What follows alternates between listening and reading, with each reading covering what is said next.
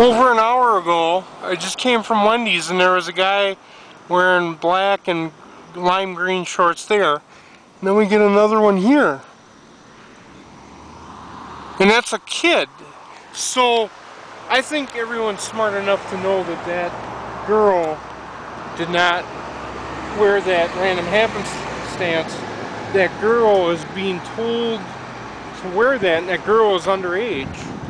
So that proves that Rush and Virginia Newbon, who's involved in the porn industry and who I accuse of kidnapping children and selling them to the sex industry, uh, are connected to children by this girl wearing a black and lime green sh shorts.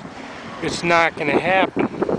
It's, it's not a coincidence. This girl is connected to Rush and Virginia Newbon and that means they're connected to kids and controlling what kids do. And that will be through using the FBI. So the FBI is being used by the NSA to kidnap children and sell them to the blacks, black market sex industry as shown in the movie Taken with a Neil Peart look-alike that was an Interpol agent and using the Interpol and protecting kidnapping syndicates.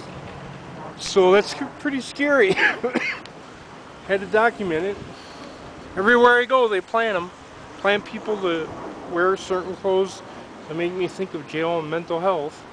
The black shirt means mental health. The lime green means being locked up in jail.